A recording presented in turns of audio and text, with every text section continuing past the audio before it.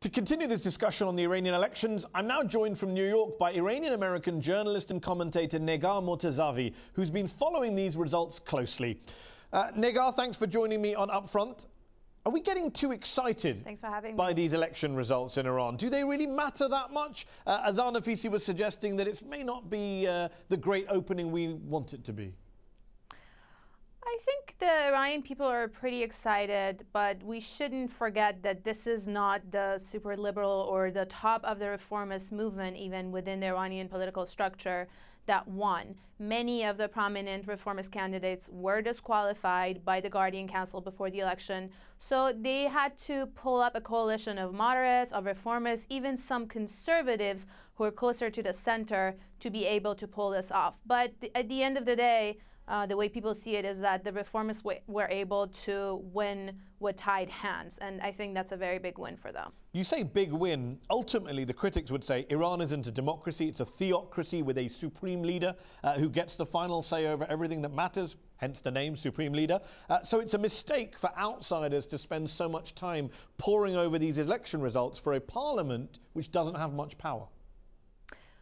I actually don't see it as that black and white. At the end of the day, the assembly of experts that the Iranians voted for, technically on paper, according to the constitution, is the body that is supposed to appoint and even oversee um, the supreme leader, as you may, or the leader of Iran. Um, on foreign policy, for example, where Iran uh, often is in the news headlines globally, it's been heavily criticized for things like supporting Bashar al Assad in Syria. These elections aren't going to change any of that, are they? Let's not forget the role of the previous parliament, which was dominated by the conservatives or the hardliners, in causing all kinds of hiccups to the foreign policy um, path that President Rouhani has taken throughout his negotiations um, with the world powers, throughout um, his, his process of making the nuclear deal. The parliament was able to um, cause basically a lot of what I call hiccups. They couldn't sabotage the entire deal, but they just made it very difficult for the administration to go on.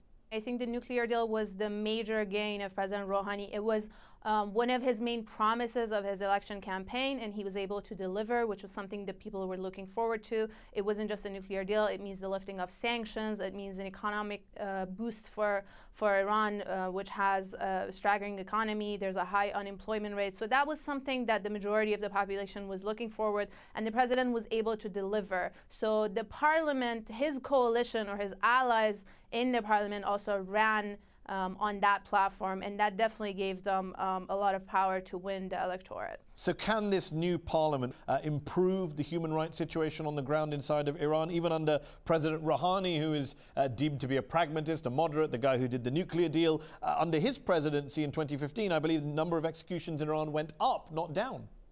Definitely. So the human rights situation, especially when it comes to executions, the political prisoners, like I said, the house arrest of top leaders of the opposition, that's something that the president hasn't been able uh, to really tackle. Again, let's not forget that the judiciary, the court system, the prison system, that's something that's still being dominated by the hardliners. This um, parliament will not be able to change much of that because they don't have too much power over the judiciary.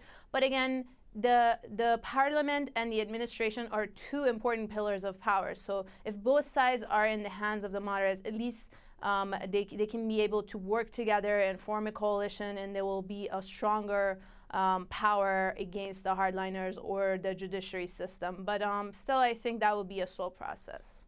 Negar Mortazavi, we'll have to leave it there. Thanks for joining me on Upfront. That's our show. Upfront will be back next week.